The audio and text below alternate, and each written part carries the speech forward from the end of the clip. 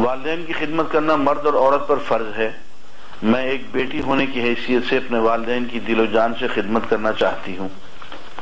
लेकिन ना तो मैं उनकी किफालत अपने खामिद की मर्ज़ी के बगैर कर सकती हूँ, ना उनको घर में मुश्किल लाकर उनकी जिस्मानी तौर पर खिदमत कर सकती हूँ, और ना ही उनके घर जाकर, यानी अपना घर छोड़कर, उनके पास जाकर खिदमत नहीं कर सकती। बरए मेहरबानी मुझे ये बताएँ कि मैं कैसे उनकी खिदमत करके जन्नत हासिल कर सकती हूँ। बहुत आम सवाल है, और चूँकि हमारा मुआशरा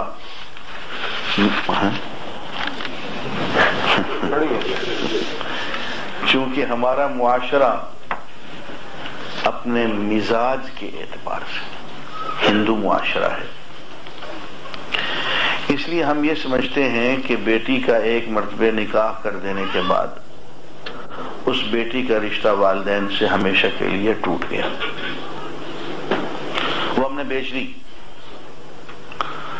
अब वो, वो कहते हैं कि वो क्या है जी कि डोली में जा रही है और उस पे आए जनाजे पे आए। क्या बात और इसको बड़ी दीनदारी समझते हैं। ऐसा नहीं है दोस्तों वो एक इंसान है।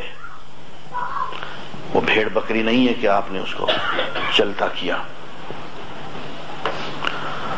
उसकी अपनी एक ज़िंदगी है। उसकी ख्वाहिशें हैं।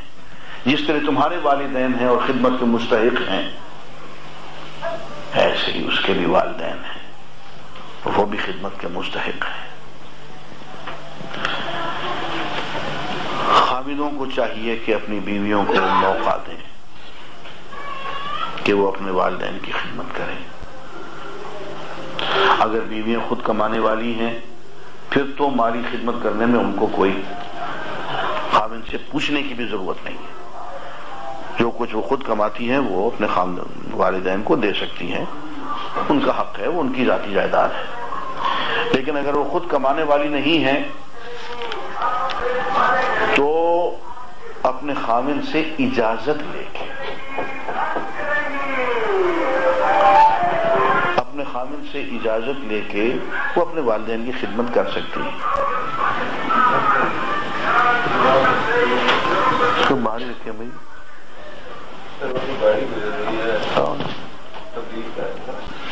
माशा ये तबलीग भी मौसीकी पे हो रही है। उन्हें जौक इबादत भी है और गाने की आदत भी उन्हें जौक इबादत भी है। सैयद तकी साहब हंस रहे हैं। शायर आदमी है ना? उन्हें जौक इबादत भी है और गाने की आदत भी निकलती है। दुआएँ उनके मुँह से ठुमरियाँ होकर।